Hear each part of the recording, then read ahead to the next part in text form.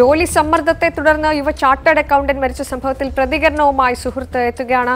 തൊഴിൽ സമ്മർദ്ദം കാരണം ജോലി ഉപേക്ഷിക്കാനോ നാട്ടിലേക്ക് സ്ഥലം മാറ്റം വാങ്ങാനോ അന്ന സെബാസ്റ്റ്യൻ ആലോചിച്ചിരുന്നതായി സുഹൃത്ത് ആൻ മേരി പറയുകയാണ്. മരിക്കുന്നതിന് രണ്ട് മണിക്കൂർ മുമ്പ് വിളിച്ച് സംസാരിച്ചപ്പോഴും ജോലിയിലെ ബുദ്ധിമുട്ടുകളെക്കുറിച്ചാണ് തന്നോട് പറഞ്ഞിരുന്നതെന്നും അന്നയുടെ സ്കൂൾ കാലം തൊട്ടുള്ള സഹപാഠി ഏഷ്യാനെറ്റ് ന്യൂസിനോട് പറയുകയാണ്.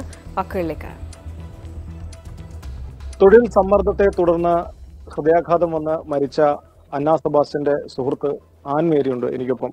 അന്നോട് എന്തൊക്കെയായിരുന്നു എന്നെ ഷെയർ ചെയ്തിരുന്നത്? വർക്ക് സ്ട്രെസ്സിനെ പറ്റി കൂടുതൽ അതായത് സാറ്റർഡേ സൺഡേസും ഒക്കെ വർക്ക് ചെയ്ത് അതും സിക്സ്റ്റീൻ hours ഒക്കെ. രാവിലെ ആറ് മണിക്ക് എഴുന്നേറ്റ് പോകണം രാത്രി ഒരു ലേറ്റ് നൈറ്റ് ലെവൻ തേർട്ടി ട്വൽവിനൊക്കെ വന്നുകൊണ്ടിരുന്നത് ചില സമയത്ത് ഒരു മണി രാവിലെ ആവും. അപ്പൊ ഇങ്ങനെ ആ സ്ട്രെസ് പറ്റണില്ല. ഒരു രണ്ട് മാസം ഫുൾ ടൈം ഇങ്ങനെ സാറ്റർഡേ സൺഡേ ഒക്കെ വർക്കിംഗ് ആയിരുന്നു. ഒരു ഒരു ബ്രേക്ക് പോലും ഇല്ലാണ്ട് ആണ് ആ കൊച്ചിനെ കൊണ്ട് വർക്ക് ചെയ്യിച്ചുകൊണ്ടിരുന്നത് അവർക്കത് പറ്റുന്നില്ല ഇട്ടിട്ട് പോയാലോ എന്ന് ആലോചിക്കുന്നുണ്ട്. എനിക്ക് തിരിച്ച് വീട്ടിൽ വരണം എന്നൊക്കെയാണ് പറഞ്ഞുകൊണ്ടിരുന്നത്. മരിച്ചെന്ന് മരിച്ചന്ന് രാത്രിയാണ് ഞങ്ങൾ സംസാരിച്ചത്. രാത്രിയും ഈ സ്ട്രെസ് ഇപ്പൊ രാത്രി ഞാൻ വിളിക്കുന്നത് ഒരു ഒമ്പത് മണിയൊക്കെ ആയിരിക്കും. അത് കഴിഞ്ഞിട്ട് ഡിന്നർ കഴിച്ചിട്ട് വീണ്ടും ഇനി വർക്ക് കോൾ ഉണ്ട്. സാറ്റർഡേ ആണ്. ഇനിയും വർക്ക് കോൾ ഉണ്ട്. അപ്പൊ അതിന് പോ അതുണ്ട്. അപ്പൊ അത് പെട്ടെന്ന് വെക്കേണ്ടി വരും എന്നൊക്കെ പറഞ്ഞിട്ട് നമ്മൾ സംസാരിച്ച് തുടങ്ങുന്നത്. പിന്നെ അഗൈൻ ഈ സ്ട്രെസ്സും വീട്ടിലേക്ക് വരാനിരിക്കുമായിരുന്നു ജൂലൈ എൻഡിൽ വന്നിട്ട് ഒരു ടു വീക്സ് എങ്ങനെയെങ്കിലും വർക്ക് ഫ്രം ഹോം എടുക്കാൻ അങ്കിളും ആന്റിയും കുറെ പറഞ്ഞിട്ടുണ്ട്. അപ്പൊ അങ്ങനെ അവൾ എടുക്കാൻ തീരുമാനിച്ചിട്ട് തീരുമാനിച്ചിട്ട് ഇവിടെ വന്നിട്ട് ഒരു ട്രാൻസ്ഫർ ചോദിക്കാം. ഇവിടെ ഇവ ഇന്ത്യ കൊച്ചിയിലേക്ക്. അങ്ങനെ പ്ലാൻ ചെയ്തിരിക്കുമായിരുന്നു അന്ന.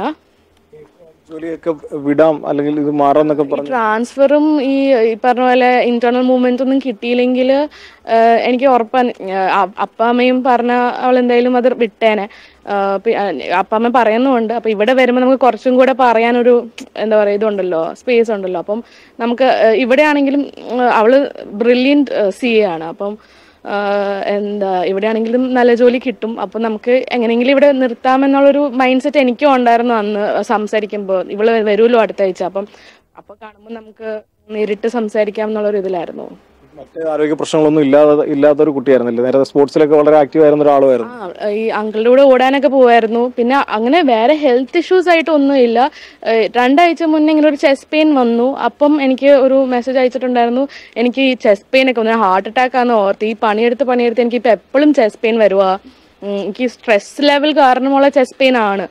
ഡോക്ടറെ കണ്ടപ്പോഴും ഡോക്ടർ ഗ്യാസ്ട്രോ രീതിയിലാണ് പറഞ്ഞത് ഫുഡ് പ്രോപ്പർ അല്ല ഉറക്കം പ്രോപ്പർ അല്ല അങ്ങനത്തെ രീതിയിലാണ് പറഞ്ഞത് അപ്പം അത് അപ്പം അത് കേട്ടപ്പം ആക്ച്വലി നമ്മൾ ഇ സി ജി നോർമലാണ് ഇ സി ജി ഒക്കെ എടുത്തപ്പോൾ അവൾ ആക്ച്വലി പേടിച്ചു കാരണം ഇങ്ങനെ വർക്ക് സ്ട്രെസ് കാരണം ചെസ്റ്റ് പെയിൻ വന്നുകൊണ്ടിരിക്കുക ഡെയിലി അപ്പം അതിനു മുന്നേ ഇങ്ങനത്തെ ഇവിടെ ഒരു കുഴപ്പമില്ല.